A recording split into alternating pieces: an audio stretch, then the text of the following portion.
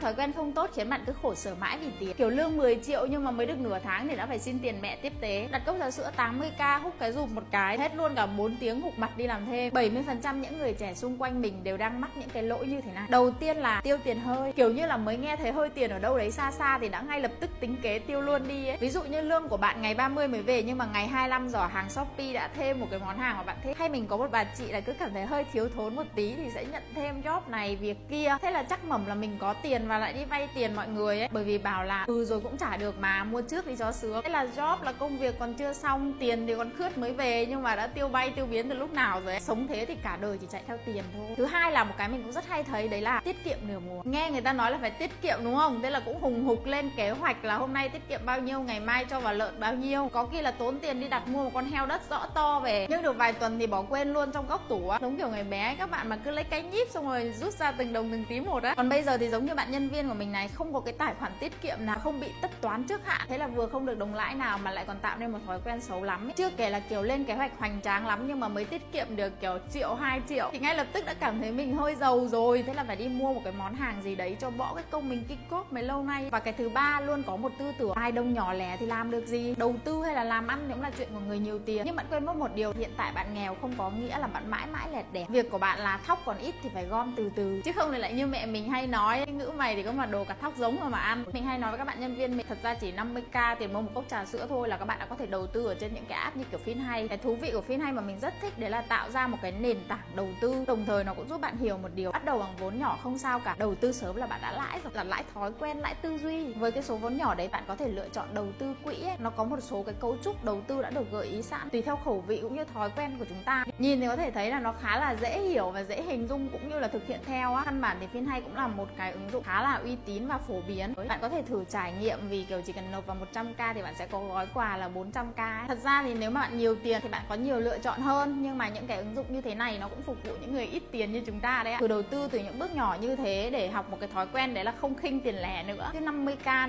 500k hay thậm chí là 5 triệu mà bạn cứ thấy nó in ít, tiêu vèo một cái, thế thì không bao giờ bạn đi được đến bước tiền đẻ ra tiền và phục vụ chính chúng ta đâu. Nhớ nha, tiền nhỏ không được bỏ, nhất định phải dùng nó để biến thành tiền to. Và cuối cùng một cái tư tưởng mà mình thấy rất là buồn cười. Đấy là chê tiền, ghét tiền và đổ cho tiền là lý do mà làm cho chúng ta không hạnh phúc. Mình luôn luôn nói trong tất cả các clip của mình, yêu tiền thì tiền yêu. Chứ còn không phải câu chuyện là đói cho sạch, rách cho thơm. Thời đại này là phải cố gắng cho cả hai, cả no và sạch và cả giàu và thơm. Hiểu là tại sao phải lựa chọn giữa tiền và hạnh phúc mà không chọn cả hai? Tức là đến lúc mà chúng ta cần tiền ấy, xong rồi chúng ta phải ngửa tay xin bố mẹ, những người đã còng lưng nuôi chúng ta cả hai mươi mấy năm, thì có phải là đáng thất vọng?